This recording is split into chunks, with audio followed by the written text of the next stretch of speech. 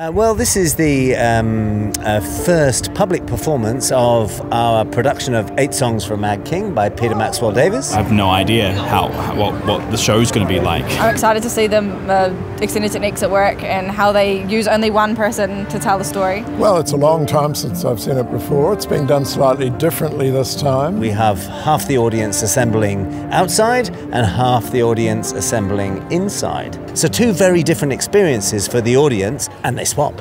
I hadn't visualised what I was going to see, so I've been a bit blown away really. I was in shock. Sometimes you just have to remember and tell yourself to breathe.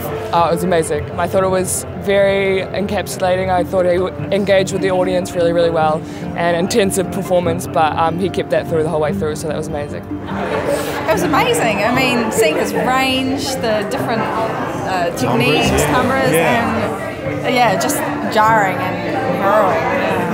I thought that was as good a performance as you could hope to see. Crazy.